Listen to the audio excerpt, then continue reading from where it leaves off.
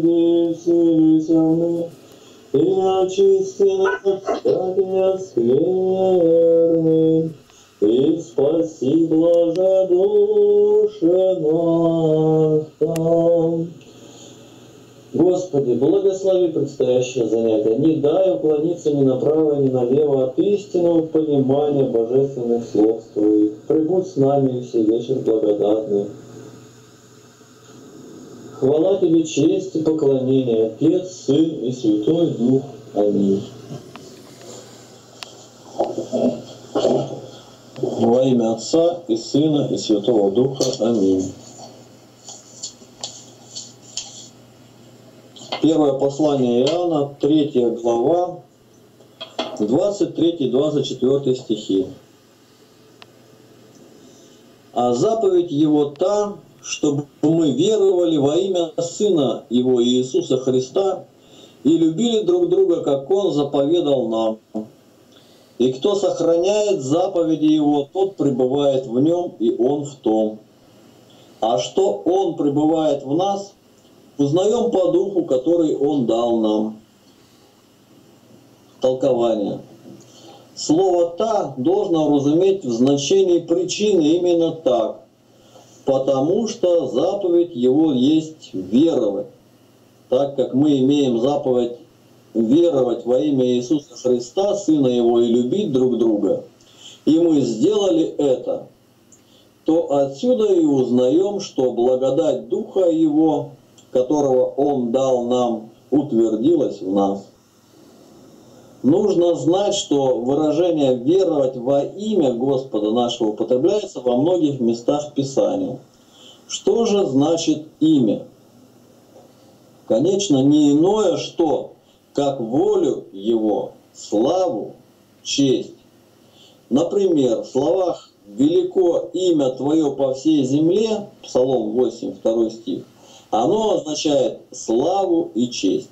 А в словах «покайтесь и докрестится каждый из вас во имя Иисуса Христа» Деяние 2.38 означает волю Его. Какая же воля Господа Иисуса? Крестить все народы во имя Отца и Сына и Святого Духа. Матфея 28.19. Господь заповедал нам любить друг друга с истинным расположением.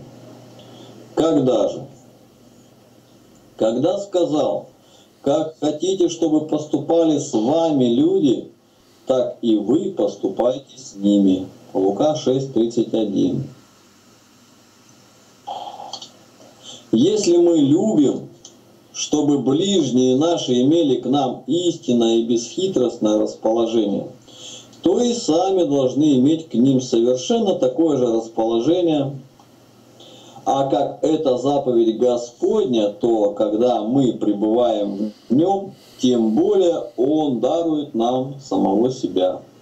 Ибо Он не может отречься сам себя, то есть нельзя допустить, что Он напрасно дает нам заповеди свои и не оправдает их прежде всех сам. Если же так, то когда мы исполняем заповеданное им без сомнения, и Он послушает нас в прошениях наших, и дарование Его будет твердо в нас. Целая мысль такая.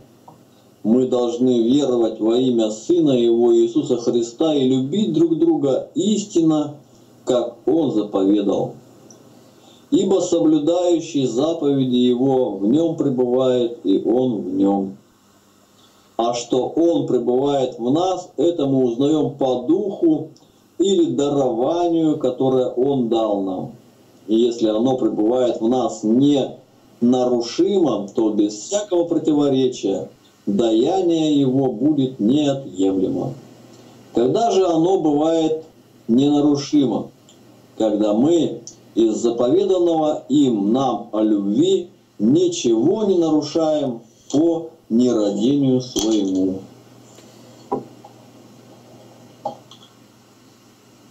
Пожалуйста, если есть у кого вопросы. Сюда.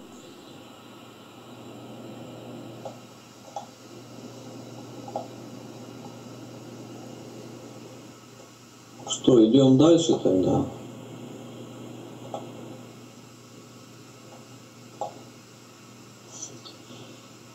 Иоанна 4, 1-2 стих.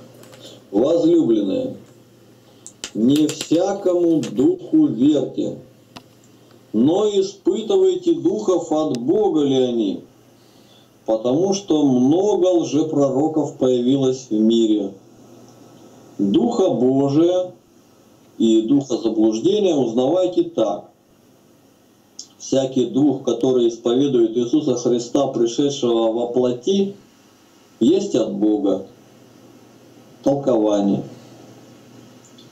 Разъяснив учение о любви к ближнему, указав в этой любви признак пребывания Духа, которого мы получили, апостол теперь присовокупляет признак для различия истинных братьев и ближних, дабы мы, имея в виду это различие по поводу заповеди о любви, не вошли в близкие отношения с лжебратьями, лжеапостолами и лжепророками, и тем не причинили себе великого вреда. Ибо, имение, ибо имея общение с ними, как единонравными, мы, во-первых, повредим самим себе, без опасения сообщая, сообщая учение веры нечестивым и повергая святыни псам, потом повредим и тем, которые преданы нам. Ибо любовь наша к, желбо, к лжебратьям, лжеапостолам и лжепророкам многих расположит принимать их за учителей, без осторожности верить их учению. Причем они вдадутся в обман из нашего обращения с ними. Какой же признак их? Следующий.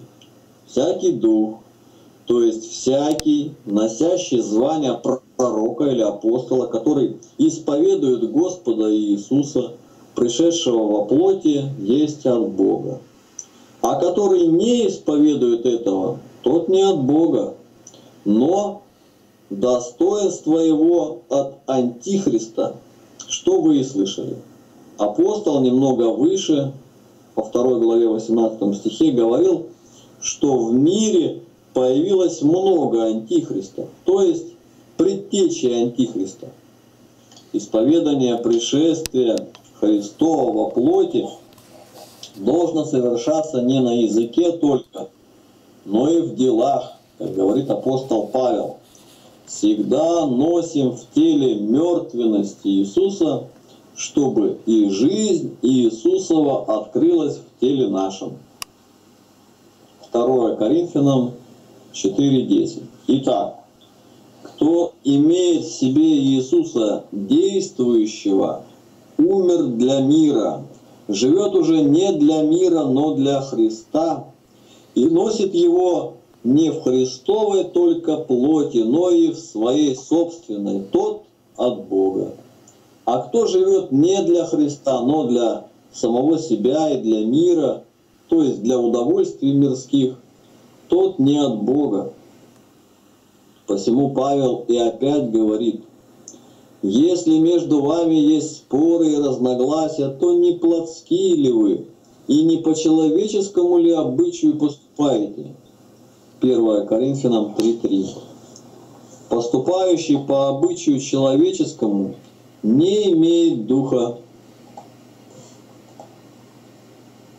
Христова, то есть не живет по учению Христу, тот не есть Христов.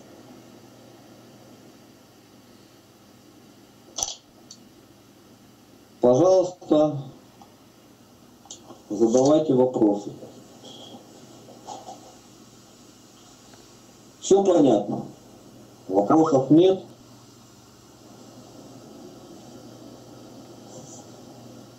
Вот у меня вопрос, вот чем отличаются лже-братья от еретиков? Есть ли какая-то градация? Или они похожи, что им задавать не надо? Геннадий Тихонович, можете объяснить? Лже-братья, это, которые называются братьями, еретики, чем различие? Ну и лже-апостолы заодно. Вот. Расскажите о них поподробнее. Писание говорит об овцах и о волках.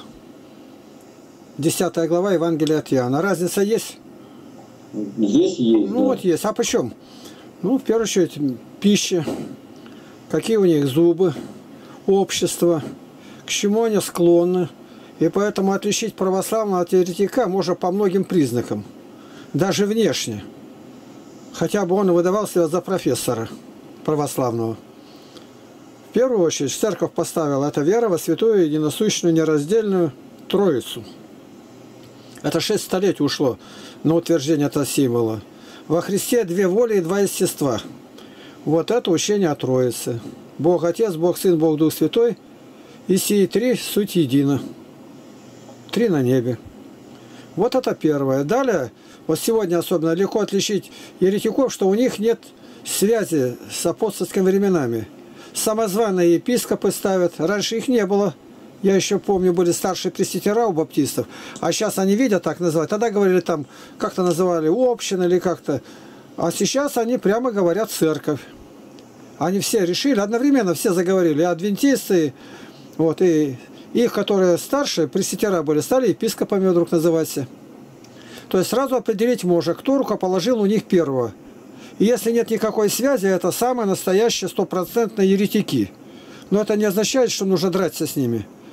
Нужно, если Господь дает мудрость, открыть. А то сегодня миссионеры знают только плевать и ходить. Они никакие, это шпана. Никакие не миссионеры. Миссионер касается души, водимой Духом Божиим-то. А это говорить не о чем. И вот здесь определяется отношение к Святой Библии. Вот они сегодня бьются за разные переводы и прочее. Это уже говорит, что уже не православные. Какие тебе переводы нужны? Синодальный перевод один из самых, а может быть и самый лучший перевод в мире. С такой тщательностью никто не переводил. Вот и же по-английски короля Якова. Ну, не он, хотя переводил, но при нем. Там один человек. У лютеран Мартин Лютер. Здесь четыре духовные академии. Самые лучшие переводчики, какие вообще когда-либо были. Как Давид Авраамович Хвольсон, крещеный еврей. Доктор филологии Лейпцигского университета. Тут можно судить уже. Павский писал учебники для еврейских школ. И они находили самые точные слова. А вот если бы сейчас они явились и сказали, а мы перевели неправильно, мы теперь исправляем и на тот текст. Вот мне говорят, вы поверили бы? Конечно, нет. Ну а как? Анафема им все. Ну а апостол Павел пришел бы и сказал, я вот ошибся, это не так, Христос не такой, что?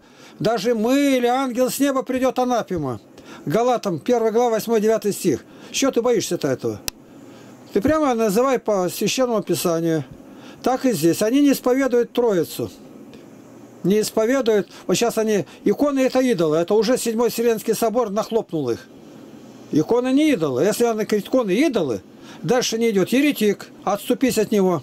Чтобы не заразиться. Это так легко икону порубить. Написать ее трудно. А чтобы отрубить топором и сжечь, ничего не надо. А это как шаг. Я с чем сравниваю это? Вот раньше принимали в банду, допустим, человек говорит, я хочу с вами быть. Ну, ему дают задание, зайди в магазин, и там вот кто-то стоит около двери, говорит, вот женщина прилично одета, видно, что она не, не из рабочих-то. Подойди и прямо в лицо ей плюнь.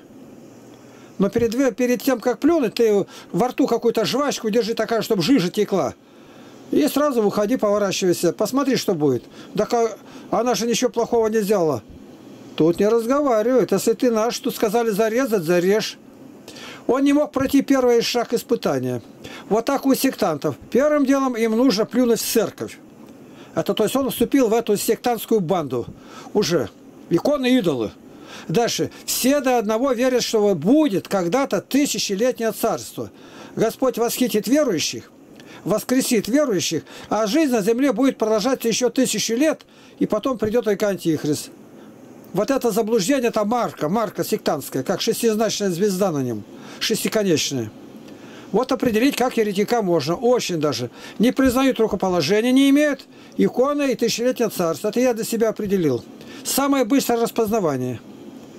Ну, допустим, переводчики говорят, Христа, пришедшего во плоти. А можно сказать, Христа, родившегося во плоти. А какая разница? Большая. Христа, родившегося во плоти, признают мусульмане 2 миллиарда, а пришедшего во плоти они не признают. Он просто родился от Мариаме. Марьям называют ее, Марию, Марьям. Он родился как обыкновенный человек, но это пророк Божий, Божий. А почему так решили? Это другой вопрос, исследовать тебе это буду целые уроки преподавать. У Данила Сысоева послушать там. Я специально занимался переводчиками. А, «Звезда Востока», журнал советский, выходил в мусульманских республиках. Советский. Академия наук издавала. Там такие подробности описаны, не нападая. Не нападая. Вот Мухаммад Магомед, который был, то он был купец, ну, женился на купчихе, она лет на 20 старше его была. Ну, а потом этими делами заводился. Он был очень интересный человек. А там мы знаем, что головорез там резал там и прочее. Он слушался, кто что говорит. А рядом жили зарастристы, манихеи, христиане, еретики, и он от них это все слышал. А что, слышал? Ну, в памяти он ничего не мог сказать. Дауд – это Давид. Но слышал о Давиде, но хоть один псалом написал – нет. На это памяти не хватит. Он был очень любознательный. Если бы его Господь обратил, то были бы миссионеры там. Два миллиарда христиан были бы вот эти вместо мусульман. Никакого Сирии, ни войны, ни Чечни бы не было. Вот почему так вина велика монахов. И как теперь понять? Очень просто. Они говорят, он родился обыкновенный, а от Марьями больше ничего нет. Притом он краем уха слышал, что Марьям – это родная сестра Моисея. А между ними 1600 лет. И они на, на полном серьезе этому верят. Я говорю, да он же Моисей, это 1600 лет раньше был. А это вы ошиблись, у вас испортили. То есть они не избегаются, мертво стоят на этой букве. И поэтому еретика определять очень хорошо священным писанием, по толкованию святых отцов, по канонам соборной церкви. А есть такие еретики, что он живет, учится в семинарии, кончает, его ставят епископом, а он еретик, и никто не знает. И он умрет, и никто не знает, что он еретик. Похоронили его. А рядом хоронят одного, Косма называется, ну, Кузьма по-нашему. И он, когда его похоронили, и слышит, как он говорит еретику, уйди от меня, вонючий, провонял здесь лежишь. Ты тайный еретик был, из могилы обличил его. В могиле уже лежит, и в могиле обличил. Вот какие жития есть. Так что, чтобы беседовать, быть миссионером, ты должен знать самые тонкие их обороты. Где какое слово подставляют. Это огромные-огромные таланты надо иметь. А сегодня так, скопище, шпана выползла на панель. Делается злобные, непримиримые. Они самые еретики, самые настоящие. Миссионерский отдел, он, все должны быть закрыты. Потому что это все не от Бога. Вот как определяется еретик по разговору с ним. А если опыт есть, даже не спрашиваешь ничего. Просто говоришь, и так как бы наводящие вопросы. Но если нередко какая-то современная секта, то уже ты определишь, кто он. Баптист, пятидесятник или субботник, но не православный. Поэтому держись за православную веру. Ничего точнее пока еще в мире не было. Хотя заблуждения, может, нигде столько нет, как в православии. Вот так. Ну а вот лже-братья, вот это кто такие? А вот лже-братья, которые называются братьями, творят все, что угодно. Всякие пакости, лже-братья, пьяницы, наркоманы, все это православное. Не знает Писание, ну, мало того, лже-братья, они врагами делаются, они гонят Павла. Они гонят Иоанна Златоуста. Возьмите Феофил. Феофил, патриарх Александрии, севера Африки. Иоанна Златоуста сверг, а епископы 47 проголосовали за свержение его. Дорогой он ссылку идет, его подкарауливают на дорогах. Епископ Фаретри, православный, он так и остался православным. И Феофила никто не осудил. А он, ища братьев, три брата были, они высокие ростом, долгие, и нанял воинов, напоил и пошли, и они в поиске, пока искали по пустыням, зарезали 10 тысяч православных монахов. И его, убившего 10 тысяч, вообразить невозможно. Его никто не отлучил, Феофила, ничего. Что это, брат? И самое интересное, есть еще Кирилл Александрийский, это святой. Он был племянник этого Феофила. Его церковь признала святым. Но когда коснулось записать в депихе, в поминальнике Иоанна Златоуста, он не записывал. считал, что Златоуст не святой. А почему дядя Феофил, его родной дядя, патриарх, который 10 тысяч монахов зарезал? Ну, а теперь у православных разные видения. Божья Матерь там тогда сказала, запиши его. Вот так. Лже-братья.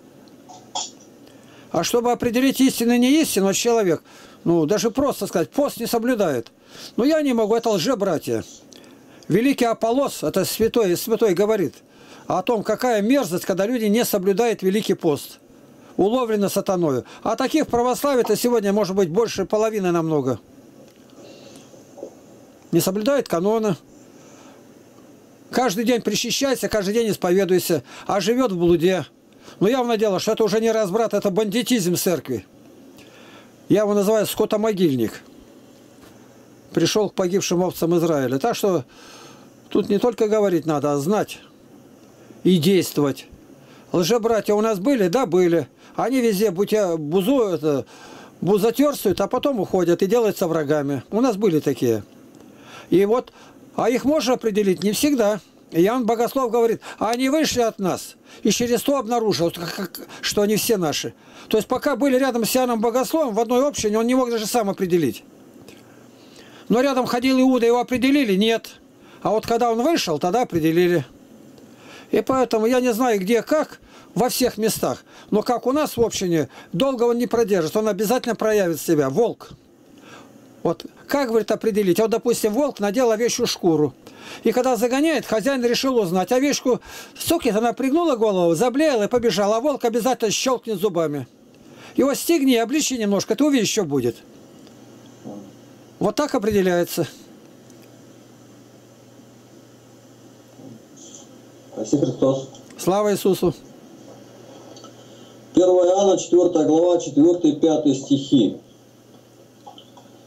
Дети, вы от Бога и победили их, ибо тот, кто в вас, больше того, кто в мире. Они от мира, потому и говорят по-мирски, и мир слушает их. Толкование. Теперь прибавляет, вы, будучи детьми Божьими, победили их, то есть лжепророков. Почему? Потому что Бог, сущий в вас, больше того, кто в мире, по духу которого решились жить лжепророки. Потом дает им еще другой признак лжепророков. В том, что немало печалило простецов из самих верных. Некоторые из них, естественно, могли скорбеть, видя, что Тех многие принимают весьма усердно, а их презирают. Апостол говорит, не скорбите, если многие вас презирают, а их принимают. Ибо подобное стремится к подобному. Они от мира и говорят мирское, то есть учат плотским пожеланиям. Почему и слушатели имеют таких же, то есть развратные, развратные. А мы будучи от Бога и удалившись от мирских похотей, становимся для них неприятными. Нас же слушает тот, кто живет целомудренно и посему знает Бога и готов слушать нас. Об этом и Христос говорит. Кто имеет уши слышать, да слышит. Матфея 11.5. То есть Он Господь свидетельствует, что тот имеет уши, кто приготовился слушать с покорностью. И на это место комментарий Игнатия Тихоновича Лавкина. Покорность вере проверяется чем? Если мы избраны Богом, являемся Его овцами, то внутренний наш голос через навык обязательно подскажет истинную цену того, что мы слышим. У нас должна быть покорность в первую очередь Слову Божию, то есть Святой Вечной Библии. А все остальное мы должны проверять по ней. И если сходится с Библией, тогда слушать с покорностью. В противном случае отвергать. Или если это безразличное, то оставлять на свое усмотрение, принимать или не принимать.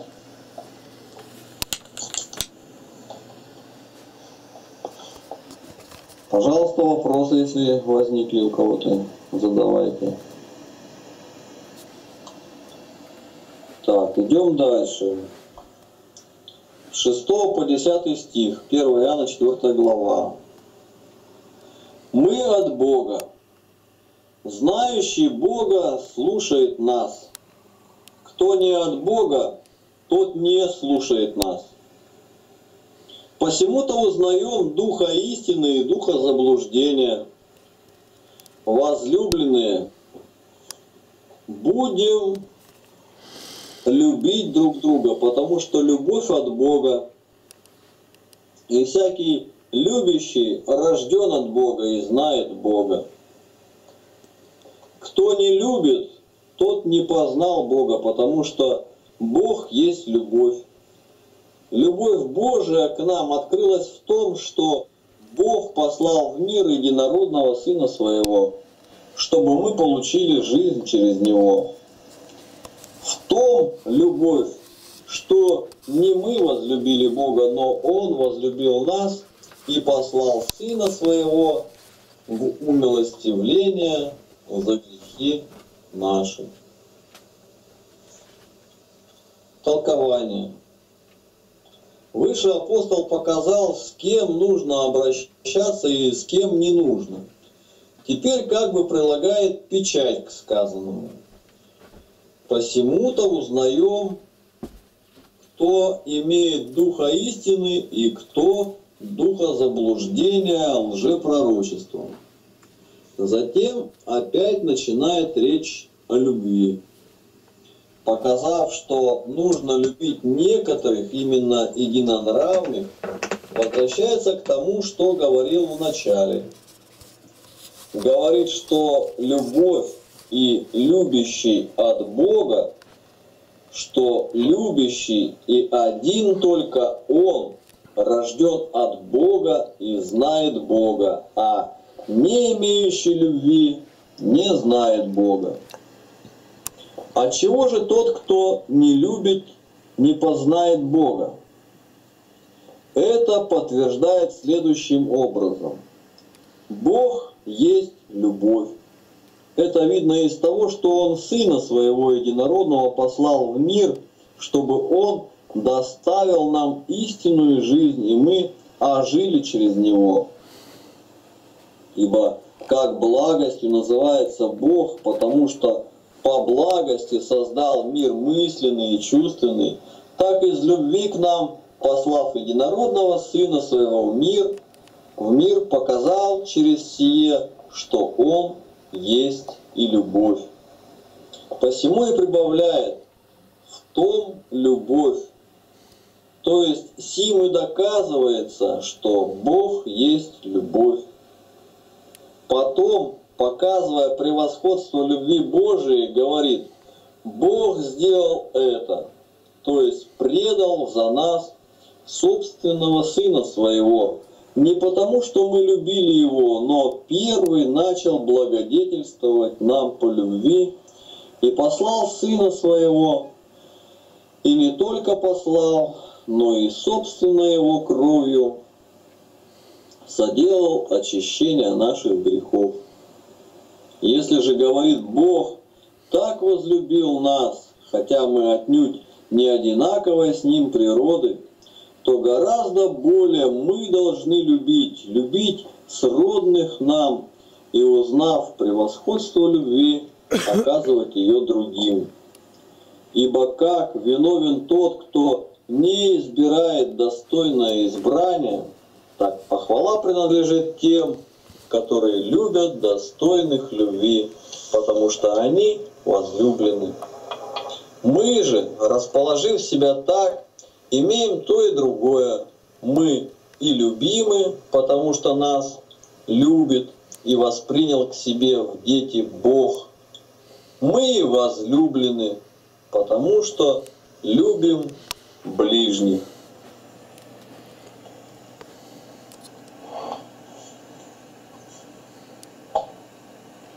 Вопросы?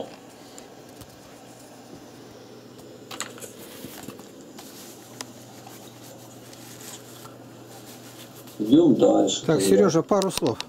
Пожалуйста. Вот да, еще не закончил это. Послал. Вот сейчас говорится, что послал и пришел. Это говорит о том, что он был прежде. Нельзя послать того, кого нет.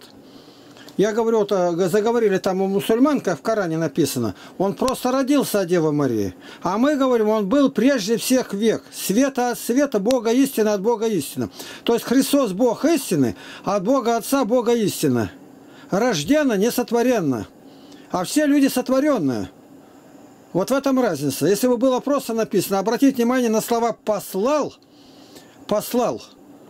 И посылать-то, если никого не было, так и ничего и нету. Это говорит о том, что он предвечный. Вот какой перевод сделал. А переводчики могли бы написать, что родился. Вот и все. Отошел. 14 стих. Возлюбленные, если так возлюбил нас Бог, то и мы должны любить друг друга. Бога никто никогда не видел. Если мы любим друг друга, то Бог у нас пребывает, и любовь Его совершенно есть в нас. Что мы пребываем в Нем, и Он в нас, узнаем из того, что Он дал нам от Духа Своего. И мы видели и свидетельствуем, что Отец послал Сына Спасителем миру. Толкование. Иной, выслушав сие, мог спросить, на каком же основании говоришь ты о предметах невидимых? В ответ на такой вопрос он говорит, я и сам говорю, что Бога никто никогда не видел, но из любви друг к другу мы узнаем, что Бог есть в нас. И говорит это справедливо, потому что многие невидимые для нас предметы мы познаем из их действий. Например, души никто не видал, но из действий и движений мы убеждаемся, что она в нас есть и действует. Так и любовь Божию к нам мы узнаем через некоторое движение и действие. Если в этом нет ничего несообразного, то и сей святой муж прилично от действия доказывает, что Бог есть в нас. Какое же это действие? Чистая любовь к ближним нашим. Она есть признак нашего пребывания в нем и его в нас, потому что потому еще, что Он дал нам от Духа Своего. Ибо чистый рождает чистое и непорочное. И как через чистую любовь мы имеем общение с Ним, то отсюда мы, видевшие Его по плоти, познали и свидетельствуем, что Отец послал Его Спасителя миру чтобы совершеннее утвердить нас в таком нашем познании, он и сам давал объяснение о своем лице. Иногда говорил, «Я исшел от Отца и пришел в мир». То есть Отец из любви к нам послал с неба в мир единородного Сына Своего. Иногда еще яснее, так возлюбил Бог мир, что отдал Сына Своего Единородного, дабы всякий верующий в Него не погиб.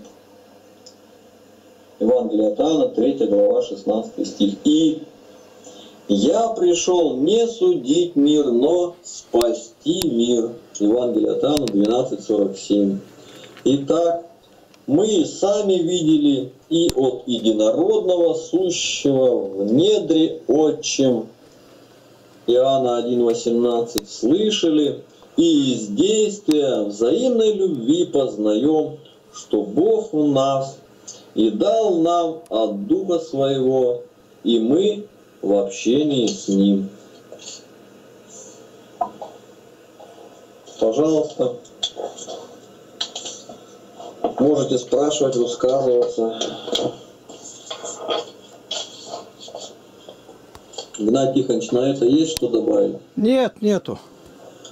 Продолжаем. 15-16 стихи. Кто исповедует, что Иисус есть Сын Божий, в том пребывает Бог и Он в Боге. И мы познали любовь, которую имеет к нам Бог, и уверовали в нее. Бог есть любовь, и пребывающий в любви пребывает в Боге, и Бог в нем. Толкование. После всего и возвращается к, упомянутой речи и говорит, кто исповедует, что Иисус есть Сын Божий, том Бог пребывает. Потому что, как выше сказано, всякий дух, исповедующий Иисуса Христа, пришедшего во плоти, есть от Бога. Этими словами апостол выражает и другую истину, что те, которые так исповедуют и имеют в себе пребывающего Духа, то есть Бога, и сами пребывают в Боге. Каким образом? Через любовь друг к другу. А вспомнив о любви, он повторяет все вышесказанное им о любви для того, чтобы более утвердить учение о любви. 17-18 стихи, никто не хочет спрашивать, продолжаем дальше. Любовь до того совершенства достигает в нас, что мы имеем дерзновение в день суда, потому что поступаем в мире всем, как Он. В любви нет страха, но совершенная любовь изгоняет страх, потому что в страхе есть мучение. Боящийся несовершенен в любви. Толкование. Бог есть свет, и святые его, по изречению Евангелия, Матфея 5 глава 14 стих, суть свет мира и чужды страха мучения, потому что исполнены любви к Богу. Хочу, говорит апостол, чтобы вы усовершились в любви так, чтобы в день суда нам иметь дерзновение пред Богом, потому что и Он есть судья по собственному Его изречению. Отец не судит никого, но весь суд отдал Сыну. Евангелие от Иоанна, 5 глава, 22 стих. И что наше дерзновение будет пред Богом вочеловечившимся. Апостол выразил в следующих словах. «Поступаем в мире всем, как Он». То есть, когда уже доказали, что Бог в нас, и мы в Нем, то мы сами себе свидетели о совершенстве любви. Как Он в мире был непорочен и чист, почему и говорил, идет князь мира сего, и во мне не имеет ничего. Евангелие от Иоанна, 14 глава, 30 стих. Так и мы будем в Боге, и Бог в нас. Если Он есть учитель и податель нашей чистоты, то мы должны носить Его в мире чисто и непорочно, всегда нося в теле своем мертвость Его. 2 Коринфянам 4.10. Если будем так жить, то будем иметь дерзновение пред Ним и будем свободны от всякого страха. Ибо, достигши добрыми делами совершенства в любви, будем далеки от страха. В подтверждение всего и прибавляет, совершенная любовь изгоняет страх. Какой же страх? Сам он говорит, что страх – мучение, ибо можно иного любить и по страху наказания, но такой страх не есть совершенный. то есть не свойствен совершенной любви. Сказав это о совершенной любви, обязательно говорит, что мы должны любить Бога, потому что Он прежде возлюбил нас. И как Он прежде сотворил нам благо, то мы тем усерднее должны принуждать себя к воздаянию за оное. Основываясь на, слова, на словах Давида, «Бойтесь Господа, святые Его, ибо нет скудости у боящихся Его». Иные спросят, как теперь Иоанн говорит, что совершенная любовь изгоняет страх? Неужели святые Божии так несовершенны в любви, что им заповедуется бояться? Отвечаем. Страх двоякого рода. Один – предначинательный, которому примешивается мучение. Человек, совершивший худые дела, приступает к Богу с боязнью и приступает для того, чтобы не быть наказанным. Это страх предначинательный. Другой страх совершенный. Этот страх свободен от такой боязни. Почему и называется чистым и пребывающим вовек. Псалом 18.10. Что же это за страх и почему он совершенный? Потому что имеющий его совершенно восхищен любовью и всячески старается о том, чтобы у него ничего не доставало такого, что сильно любящий должен сделать для любимого. Под страхом здесь разумеется страх предначинательный кто искренне любит Бога, тот творит угодно ему не по страху наказания, а по влечению к добродетели и по любви к Богу, не ограждая себя даже законным страхом, заключающимся в любви к хорошему. И тот страх, который делает что-нибудь для того, чтобы не подпасть наказанию, тождествен с первым – Посему и прибавлено страхи есть мучение. Вопросы? Дополнение, может быть, Игнатий Тихонович? Нет. О страхе. Все уже сказано, да? Да, все сказано. Надо бояться и все. Надо Нет. бояться? Конечно. Это Игнатий Бринщининов говорит, что если человек говорит, что ну, вроде страха не надо, то, говорит, начни сначала. Начало мудрости страх Господень. Только бы не погибнуть, только бы душа в ад не пошла, только бы не оказаться в огне вечным. А я нет, я полюбил Господа и сразу все. Ну вот такое дело. Сектанты все говорят, что страх не нужен. Мы спасены и все. А святые считают это обольщением. Особенно много об этом говорил Пимен Великий. Так что надо бояться всю жизнь. И апостол Павел об этом говорит. И говорит этот Давид со страхом и трепетом. Давид говорит, так сказать, Павел говорит, совершайте свое спасение со страхом и трепетом. Оно несовершенное спасение, его надо совершить еще. Со стороны Христа сделано все, со стороны человека всю жизнь сделание. Почтите сына, дабы он не прогневался вас, на вас.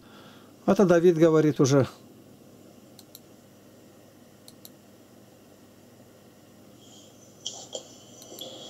Так, ну что ж, продолжаем тогда.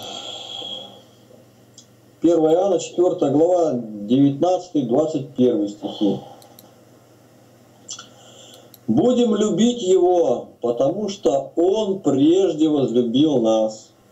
Кто говорит, я люблю Бога, а брата своего ненавидит, тот лжец. Ибо не любящий брата своего, которого видит, как может любить Бога, которого не видит? И мы имеем от Него такую заповедь, чтобы любящий Бога любил и брата своего. Толкование. Выше апостол с настойчивостью доказал, что любовь должна быть взаимная, переходящая от Бога к нам и от нас к Богу. Присовокупил к всему, что если Бог так возлюбил нас, то и мы должны любить друг друга. Теперь снова возводит речь, к тому же и говорит, так как на нас лежит долг любить брата, по примеру любви Бога к нам, и воздавая любовью к Богу, мы удовлетворяем этому долгу, то нам непременно должно любить брата для совершеннейшего доказательства любви к Богу. Ибо если этого не будет, то не сохранится и любовь наша к Богу, так как будет нарушен долг по отношению к ближним, долг, вытекающий из любви к Богу. Прибавляет и еще более сильное слово на обличение тех, которые хотят извращать божественную любовь. Апостол говорит как бы так.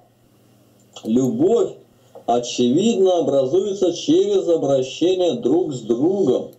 Обращение же предполагает, что человек видит своего брата и по обращению с ним еще более привязывается к нему любовью. Ибо видение весьма много привлекает к любви. Если же так, то кто ни во что ставит гораздо более влекущее к любви, не любит брата, которого видел, как может быть признан истинным, когда говорит, что любит Бога, которого не видел, который ни в обращении с ним не объемлется никаким чувством. Если кто-нибудь бесстыдно будет говорить, что Бога любит, а брата ненавидит, тот, извращая божественную любовь, оказывается сверх всего и преступником следующей его заповеди. Потому узнают все, что вы мои ученики, если будете иметь любовь между собою. Евангелие от Иоанна 13.35. Посему, кто любит Бога и старается быть Его учеником, тот по заповеди Его любит и брата своего.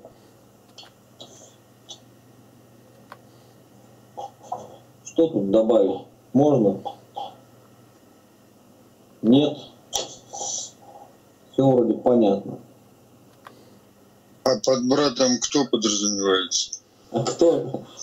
А кто говорит, ну, твой ближний, да? Да, да, да. Ну, притчу о бедном самарянине в ответ услышали, кто твой ближний. Да, кто твой, кто, кого любить, кто братом, кого братом можно называться. Ведь много же лже-братьев, которые вот называют себя православными, но сами блудят, выпивают в текушку, а некоторые не в текушку, грешат. Так э, любить нам их или не любить? Брат он или не брат? Брат ты мне или не брат, как в песне поется мирской войны. Хороший вопрос, Геннадий Тихонович. Ответьте. А ответить так. Найти в интернете произведение Федора Михайловича Достоевского и называется «Село Степанчиково». Он как раз на это и говорит. Фома Пискин. Там так подробно описано, что уже так не рассказать. Надо прочитать. Это не помешает для образованного человека. Село Степанчиково. Вот такое название. Достоевский? Достоевский Федор Михайлович. Вот ответ. Лучше, говорит, книжная мудрость, чем самобытная глупость. Почитаем. Продолжаем тогда. 1 Иоанна, 5 глава, 1-2 стихи. Всякий верующий, что Иисус есть Христос, от Бога рожден. И всякий, любящий родившего, любит и рожденного от Него. что мы любим детей Божьих, узнаем из того, когда любим Бога и соблюдаем заповеди Его. Толкование. И это говорится в подтверждении вышесказанного. Если мы от учителя с большой буквы получили заповедь любить друг друга, то без сомнения, если веруем, что учитель наш Иисус есть Христос, а Христос Он в том смысле, что есть Бог и вместе человек, должны соблюдать и заповеди Его, как учителя и как Бога. Веруя же, что Он есть Бог, мы получаем имя детей Его, как в Евангелии, как и в Евангелии сказано. Тем, которые приняли Его, дал власть быть чадами Божьими. Евангелие от Иоанна 1.12. То есть которые уверовали в Него, те и стали детьми Его. Если же мы родились от Него, то без сомнения должны и оказывать должное родителю, то есть любить родившего. Если же все мы, уверовавшие, родились от Него, то мы должны любить друг друга и как братья, и как рожденные от Него. В подтверждение сего апостол и говорит, что любящий родившего любит и рожденного от Него. Потом опять говорит, что любовь к братьям или чадам Божьим доказывает любовь к родившему. Выше он говорил, что любящий Бога любит и брата своего, а теперь говорит, что любящий детей Божьих любит и Бога. И любовь к брату поставляет доказательством любви к Богу. Вот, то есть тут вот по-другому подход уже, наоборот. Кто любит брата, тот любит Бога. Прежде говорит, кто как говорит, что любит Бога, а брата ненавидит, как же может он себе утверждать? Продолжаем тогда, да? Третий, четвертый стихи, пятая глава, 1 Иоанна. «Ибо это и есть любовь к Богу, чтобы мы соблюдали заповеди Его.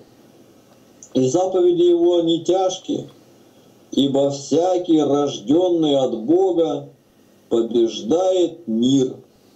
И сия есть победа, победившая мир, вера наша. Толкование. Связь такая. Любовь состоит в том, что мы соблюдали заповеди Его – Потому что всякий, рожденный от Бога, побеждает мир. Поскольку полным доказательством любви к Богу апостол указал соблюдение заповедей, а некоторым думалось, что заповеди Божьи тяжелы, то и говорит, и заповеди его не тяжкие. Ибо что тяжелого в деле любви к брату? Что, например, тяжелого в том, чтобы посетить узника в темнице? Ибо повелевается не выпустить из темницы, что было бы трудно, а только посетить. И больного повелевается не освободить от болезни, а только посетить. И голодному не повелевает предложить стол из многих блюд или ногому подать одежду, приготовленному из драгоценной материи, но доставить крайне нужное, чего ищет голодный ногой. Сказав это, указывает и другое побуждение к любви. Какое? Победу. Говорит, что через любовь к брату, соделывая себя детьми Божьими, вы имеете уже и воздаяние за это доброе качество, победу над миром, ибо рожденный от Бога побеждает мир. Потом объясняет, в чем состоит победа, и через это она совершается. Тему другим называет веру, то есть веру в Бога, которая, родившись от Бога, победила и прогнала всякое неверие. И ни иудей, ни эллин, ни еретик не силен против него, против нее. А как вера побеждает не одна сама по себе, а вместе с имеющим ее, то прибавляет. И кто побеждает мир, как не тот, кто верует, что Иисус есть Сын Божий. Кто же сей Иисус? Иисус Христос, пришедший водой и кровью.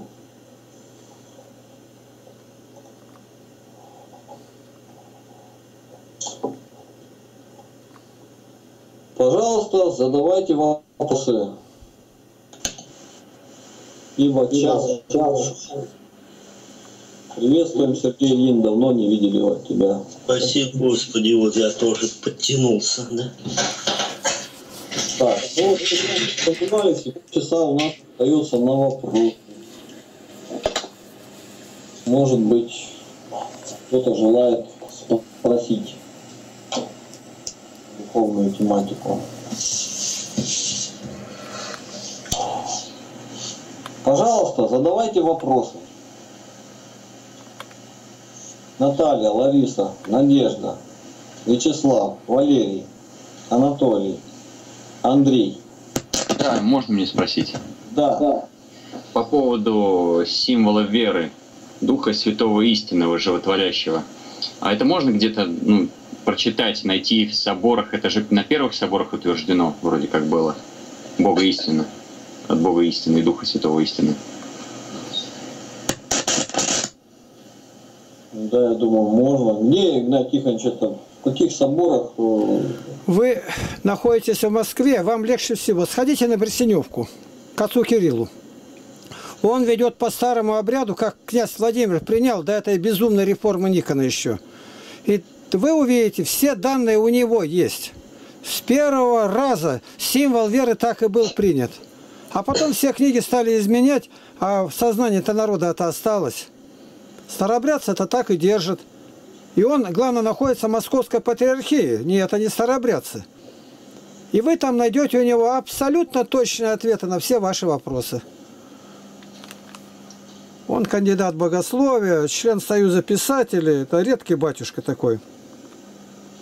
Ну, а, Игнат Тихонович, ну а в двух словах, вот если так вот коротко. Ну, коротко что? Бога истина от Бога истина. Все ра- равны святые лица Святой Троицы. И вдруг слово истина отбросить. Оттуда что? Посягательство на Дух Святой, что он не.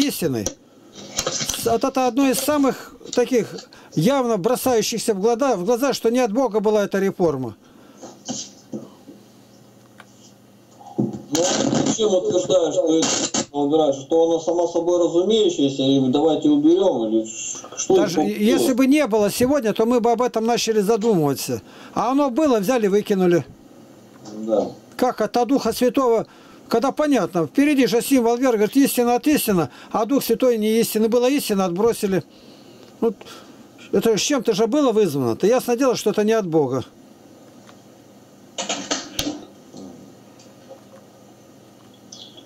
Да. Ну и как теперь быть? Просто смириться и... Ну как это смириться? Вот у нас только начали, мы сразу ввели, у нас был тогда епископ Вениамин, он сразу представил, говорит, в 71 году, 1971, Синод Русской Православной Церкви, Московского Патриархата, принял решение снять все старые клятвы, которые безумно наложили при Никоне, и равно спасительными признать то и другое. То есть молиться по старым или по новым книгам, по старому символу или по новому, который исказили. Так нам спрашивают, а мы на всякий случай спросили, заручились. И оказалось, что правильно сделали. То Ну, есть, э, если, допустим, вот этот вопрос вот, э, интересует, он может его поднять, допустим, на собрании. И как вот у нас мы же ввели э, Духа истинного. Ну и вы вводите все. Почему мы ввели? Мы никогда не смотрели на то, как сегодня люди делают. Сделали официально запрос, что по-русски считать тоже было препятствием, и в Синод везде писали. Поэтому все библейское у нас считается по-русски, а остальное по-церковно-славянски. Все библейское. Но если это библейское поется, как «Отче наш» или там Псалом 102, у нас это по-церковно-славянски, где пение.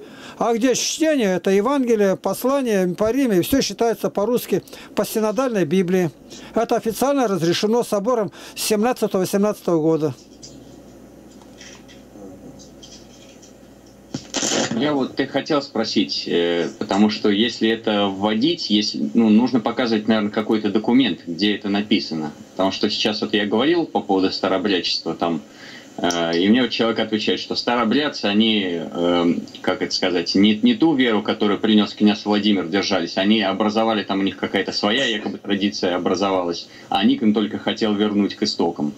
Вот так. То есть это нужно показывать человеку, как оно было. Сегодня сравнение делают, и ни одного места нет, где Никон исправил, чтобы не было испорчено. Уже доказано. И выражения другие, все. Духа Святого Господа истину. Почему не истину? Пусть один вопрос ответят. Было двуперстие, давай на троеперстие менять. Ну что-то люди не знали, там глубины. Но как пальцы-то прижимать? Маленьким детям ниточкой связывали, чтобы правильно крестился. И вдруг неправильно креститесь. Было аллилуйя, аллилуйя, слава тебе Боже. И вдруг три раза аллилуйя, аллилуйя, аллилуйя. А слава тебе Боже означает по-русски аллилуйя. Ну, тут даже говорить не о чем, то что явно дело искажение было. А я считаю, ну, считай, ну, вам один раз засвидетельствовали, все. Называется ревнитель старинного благочестия. Вот как. Русский православный собор зарубежной церкви принес подлинное покаяние перед старообрядцами за то, что гнали их предки. И не за это ли постигла эта чума, говорит, в 17 году нас, за то, что мы тогда вас гнали. Вот это единственно правильный выход. Почему была Великая Отечественная война? Почему ГУЛАГ был? Предыдущий грех, испытание –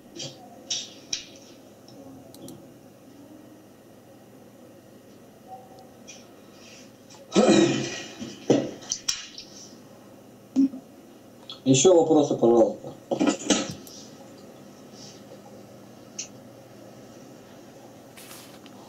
Андрей, Анатолий, Валерий. Есть?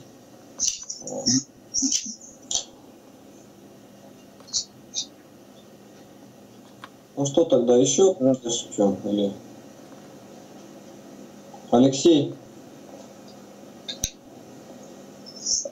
А как вы думаете, что мешает нашему патриарху и вообще синоду покаяться перед старобрядцами? Или никто не ставит вопрос такой? По-моему, давно уже назад. Понимаете, все намного глубже. Патриархию образовали в сентябре 43 -го года Сталин и Берия. Это о чем-то говорит? Да, да. Фашизм был осужден Нюрнбергским процессом, а коммунизм, который принес сотни раз больше зла, беспокаянный. Ему Нюрнбергского процесса не было. КПРФ, Зюганов смердят. И поэтому принес Папа Римский, принес покаяние перед евреями. У русских гнали евреев, будь здоров, покаяния нету. Гнали сектантов, убивали, покаяния нету. Гнобили старобрядцев больше, чем всех других. Покаяния нету. Потом патриархия это не раскаянный отдел, пятый отдел КГБ, так его считали. Раз беспокаянные коммунисты, а они их производные, они не каются. Они по-другому не могут быть. У них чисто коммунистическое мышление. Обязательно должна быть какая-то организация. Даже на миссионерство и то посягнули сделать какой-то отдел миссионерский. Это подделка сатаны под свет ангела. Миссионером нельзя быть по научению.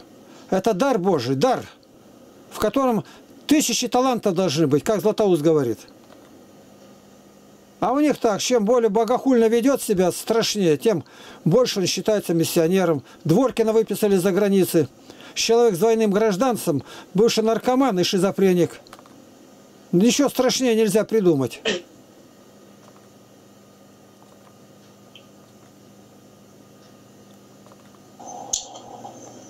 Так, еще вопросы? Меня слышно? Да. А, а, так, вот такой вопрос хотел задать. Священное Писание нам говорит, что не судить прежде времени, ну, ни направо, ни налево. Вот Игнатий Тихонович это часто как бы повторяет. А в беседе вот с людьми, как увязать это с тем, что у нас у православных есть святые? Как бы, ну как это объяснить? То есть как будто бы их не должно быть, но тем не менее мы на них э, ссылаемся. Да. Вроде как э, говорим, что не надо судить, а вот церковь уже присудила, как бы им э, в рай определила, и мы вроде говорим, что не надо это делать, а на самом деле, да. Вопрос понятен, Игнатий Тихонович, отвечайте. А что отвечать-то? Нужно найти эту золотую середину. Я говорю, не должно быть, но церковь приняла, и я принимаю. И весь ответ. Я как православная щада принимаю все, что церковь сделала. Все. И молюсь всем святым этим, которых канонизировали каждый день. Но кого они проклинают в день православия, торжества, там меня нету.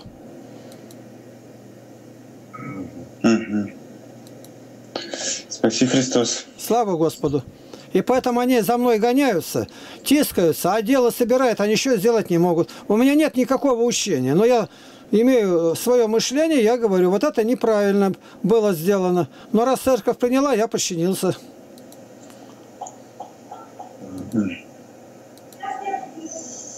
Хорошая позиция, как говорится. Не подкопаешься. Так, ну еще, пожалуйста, вопросы. А вот э, недавнее событие, э, наверное, уже в курсе, то, что с космодрома ракета не взлетела в, там, в какой-то день, а на следующий день взлетела. И вот там по интернету вроде как распространилась весть о том, что э, священник освещал э, ракету вот эту, а Андрей Кураев, ну, отзыв такой об этом действии сказал, что священник должен быть ответственным и как бы вопрос в связи с этим, э, священник вообще как бы, ну, может заниматься вот этим? Или, или это вообще не его дело, там, освещать ракеты? И, ну и, и об Андрее Кураеве, то есть он правомерно как бы говорит, что священник должен там нести ответственность за то, что ракета, ну там, дала сбой как бы. Вот вообще.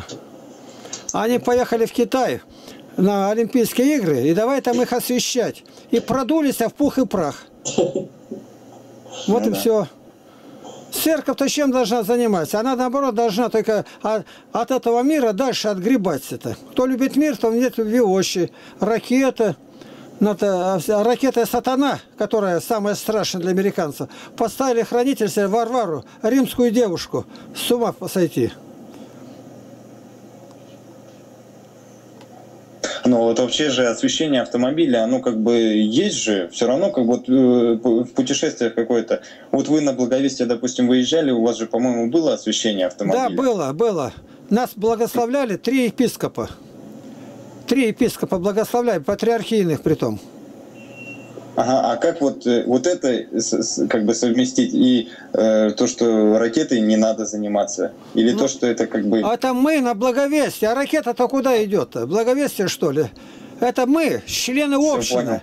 Стоит епископ здесь. Ну, угу. что сравнивать одно? Они благословляют да, да, да. туда, они благословляют такое, что говорить страшно. Войны благословляют, в Афганистане и везде лезут. Еще теперь должен утверждать это. Даже говорить-то и то боязно. Вот ты, Игнатий Тихонович, и сломалась газель, поэтому. Ну, три епископа должны теперь оплачивать, раз осветили некачественно. Правильно. Без гарантии. Ремонт пусть. В следующий раз Кстати, да, там... Освещение это же не, не, не страховая компания. Ну, а, а люди к этому так вот, страховую компанию дорого, папа подешевле пойду, я лучше попал. Люди-то по-мирски все это, эти обряды, все это Да может быть это промысел Божий, что там сломалось и э, где-то не доехал там, э, не пересекся с другим автомобилем там или что-то да, такое. Да, да. А просто люди это не понимают, они как язычники думают. То есть освети, значит, все, все в порядке должно быть. Ну, наша газель вовремя сломалась. Если бы она не сломалась, видишь бы, там бы авария была бы. лоб, лоб в лоб шел там пьяный, вот перед этим вот все. Так можно рассудить, можно и посмеяться, конечно. Можно. А это о чем вы, братья, говорите? Вот не понимаю, а? Да шутим мы, брат. Это обсуждение для новоначальных. Да. А вот еще можно задать вот такой вопрос. А, я там не занимаю сильный эфир. Нет, нет, а у нас время выделено на это. Ага. А есть, Дают, пожалуйста. Есть, ли, есть ли мистическая связь между действиями человека и последствиями, которые могут отражаться на его родных? То есть, допустим, я какой-то грех совершаю, а, предположим, ну, заболевает кто-то из моих там или супруга, или сын, или там родители мои. То есть есть такая связь. Нужно ее как бы э, держать в голове, в голове, так сказать. Или не надо? Геннадий Тихонович, отвечайте. Дети не отвечают за отцов, сын за отца не отвечает. Но иногда Господь делает так, что болеет невинный человек, родственник, к которому ты привязан. Тебя Господь долбит, а с тебя, говорит, как с гуся вода. А когда родственник заболевает, ты приходишь в сокрушение и покаяние. А у него свои там были недостатки, он для себя примет, а ты принял через него. Страдания другого бывает, дочери, сына, там, жены, тебе более близки, чем собственная кожа. Вот и все. Да. А не за грехи того. До третьего, четвертого поколения это отражается на них, которые делали неправильно. Но если они делают правильно, Господь говорит, говорит ему, если я даже сказал смертью умрешь, что это отменяется. Об этом говорит Иезекииль 3 главе и 20. Мгм. А вот э, говорят о родовых проклятиях, этого, э, к этому как относиться? А откуда кто знает, что оно было? Написано, незаслуженное проклятие не сбудется, а как воробей спорхнет и улетит. Или упадет на голову проклинающего. Самое страшное проклятие, когда ты будешь проклинать евреев. Тут тебе уже пощады не будет. Бог тебя сокрушит обязательно. Не проклинайте щада Авраама, не проклинайте. Проклинающий будет проклят, это уже закон. А благословляющий будет благословлен. А то жиды обобрали тут Березовские, да будь они проклятые, все в Израиль, в Иерусалим перегнали. Вот за эти слова ты будешь отвечать перед Богом уже. Почему? Запрет. Бог сказал так. Так они жиды, а про них Иоанн Златоуст все говорили, да, говорили, а ты не проклинай. А ты им благословляй, чтобы они уверовали во Христа. Чтобы ждали не своего Машаха, Мессию, а приняли Христа как истинного Бога.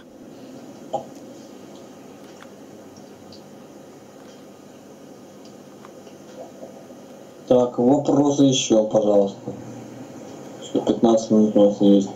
Ну, главное, вот говорят о проклятии. Проклятие как? Проклят, злословящий отца и мать. Да русский народ весь проклят это. Ругается, то тебя в мать твою. Вот и все. Проклят, злословящий мать. Это проклятие, а не просто так он матерно сказал. То Что значит матерно? Другой стоит в тюбетейке и торгует, два слова не может сказать, моя, твоя. А как заматериться с чистым языком? Почему? Сатана. И вот бывают люди упомешанные в дурдоме, совершенно сумасшедшие, не могут говорить, а как, а матерятся когда? Матерятся, матерки даже пятиэтажные, чисто разговаривают, выговаривают. Это люди, которые работали с ними, свидетельствуют, и врачи, и психиатры. Дьявол.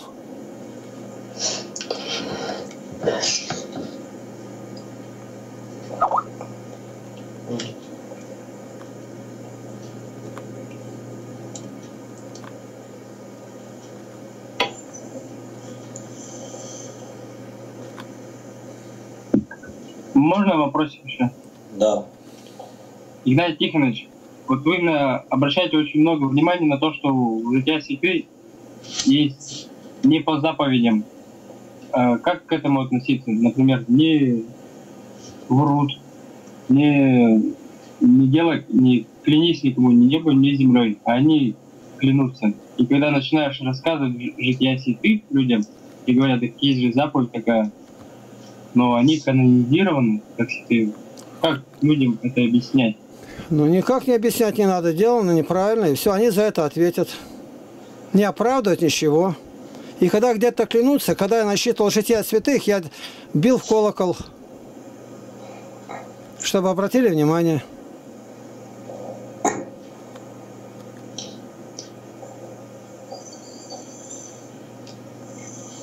Угу. Еще вопросы? Еще вопросик можно, Игнатий Тихонович? Да, да. Вот я пока не могу найти брата во Христе, но я хочу благовествовать Слово. Вот. Могу ли я своим каким-нибудь решением раздавать Евангелие? Можешь, можешь, можешь говорить то, что знаешь. Что Христос пришел на землю, что Он умер за грехи людей. Вот что знаешь, что и говори. Говорить ты можешь. Любому, в любое время, даже когда будешь отлучен. Когда ты впал в, грех, в блуд, все равно имеешь право говорить. Не в церкви. На базаре, на улице, в дороге, в поезде.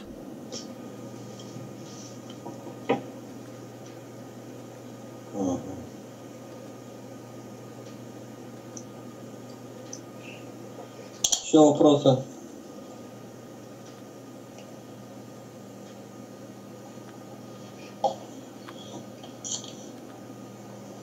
Так.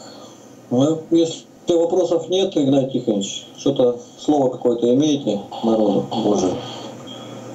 Еще сегодня молиться, завтра сказать, ночь, бдение, готовимся Пасху Христову встречать. Что сказать? Которая рядом, мы говорим, нужно десант бросить на Потеряевку в субботу или в пятницу. Сегодня уже пятница, а завтра, вот, ну, еще там после Пасхи, да, это, на день деревни 15 будет.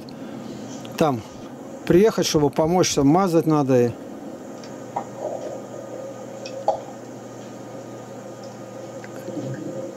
А вы Пасху где встречаете, Игнатий Тихонович? В Потеряевку поедете? Я нет, кое-кто поехали. Мы в Барнауле встречаем. М. У нас с 10 начинается чтение Деяния апостолов по-русски, только по-русски считается. По-русски. Ну, а потом уже ближе к 12 начинается пасхальное богослужение. Без батюшки. А батюшка приедет только в понедельник утром рано. Он в Потеряевке встречает Пасху. А как у вас эта служба называется без батюшки? Лишь обедницей не назовешь? Как угодно называй. Зачем ее называть-то? Богослужение и все. Как возвращались из Америки, и один там, кажется, Николай Савченко из Санкт-Петербурга, из зарубежной церкви, и нашего Евтихия спрашивает на отца Акима, а как у вас там без вас? Вас же нету, а как там служба идет? А и наш епископ Евтихий говорит, у него, говорит, все как надо идет. О себе позаботься. У нас специально написано так называемое апостольское служение, проверенное архиереем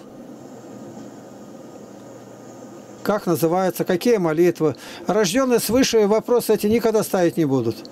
Он знает, с Богом есть связь. Рот зажали, завязали, ты один, глаза выкололи. Твоя душа с Богом все равно. Отлучить Бога ничто не может. Ни смерть, ни начало, ни будущее, ни высота, ни глубина.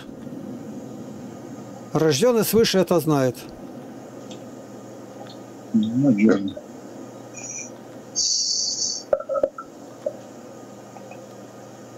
Можно еще вопросик, Игнатий Тихонович? Да, можно. А, когда обличаешь брата в грехах и в делах, если он не в лоне церкви, а сказано, если ты обличил его, и он не послушал тебя, то приведи второго брата, а если нет, то приведи священника. А он не в лоне церкви. Ну, а мне, Как- он тебя не касается. Не в лоне церкви, так и какой? Тут написано брата. А вне, вне церкви-то что делается? Какое отношение имеет? Сказать я ему могу, в общественном месте курить, дети тут рядом, и материться. Призвать к порядку.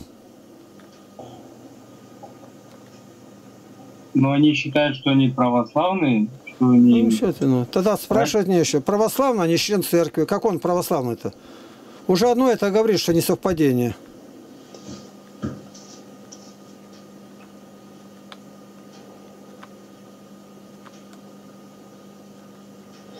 Если он православный, но не в церкви, ему нужно благовествовать Христа сначала. Может благовествовать, какой бы он ни был. Благовествовать может человек, который только-только два часа обратился, как бесноватый, возле Христа. Я пойду. Он говорит, иди возвеси, что Бог сотворил тебе. Вот. Только что исцелил его и послал благовествовать. Вот ему нужно благовествовать этому человеку. А под, когда он уже уверует по-настоящему, да, он скажет, что да, я верую, вот тогда уже можно обличать о грехе. Вот так вот и делается. А так метать бисер перед свиньями, что же, если он еще не верует в Бога, там, как он себя там называет, хоть горшком, только в печь не сажать. Это все Православный тот, кто верует во Христа и его личным спасителем признает, что Христос меня омыл, что умер за меня вот сегодня Великий Петр, без тьма до девятого часа, вот до трех часов дня, с часу до трех. Сейчас вот Спаситель вот лежит, его готовят к погребению, и Иосиф Аримофейский с Никодимом. мы вспоминаем в пяток великий. Самый постный день в году.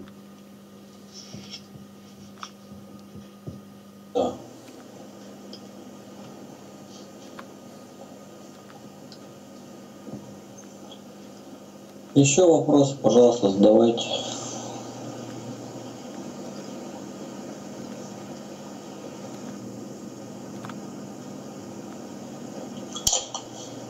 Ну что, тогда заканчивать будем или еще стих прочтем? Да, можно. Вот я опоздал по, по, по своему так. Да, давай ради, ради Сергея. Один стишочек.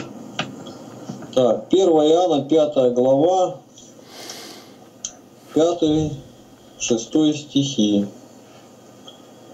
Кто побеждает мир, как не тот, кто верует, что Иисус есть Сын Божий. Сей есть Иисус Христос, пришедший водою и кровью и духом, не водою только, но водою и кровью. И Дух свидетельствует о нем, потому что Дух есть истина. Толкование. В словах «всякий, рожденный от Бога» апостол упомянул об усыновлении Богу и о рождении. А это вместе совершается через святое крещение. Посему говорит, «Все есть пришедший водою и кровью Иисус Христос, воз- возрождающий и делающий нас сынами Божьими». Ибо это подразумевается и как следствие в словах «рожденный от Бога побеждает мир». Как рожденный водой и кровью, ибо пришедший Иисус Христос возрождает водой и кровью. И опять прибавляет с повторением сл- слова не водой только возрождающий, но водой и кровью. Ибо хочет прежде доказать прославление усыновляющего нас Христа, потому что прежде усыновлен Богом человек, сущий во Христе, а потом Христос через свое усыновление даровал и нам такое достоинство а сыновство его объявлено трижды.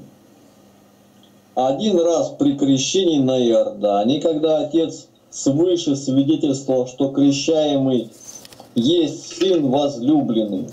Итак, пришел водой, то есть объявлен Сыном Божьим, идя на крест, говорил, «Прославь меня ты, Отче!»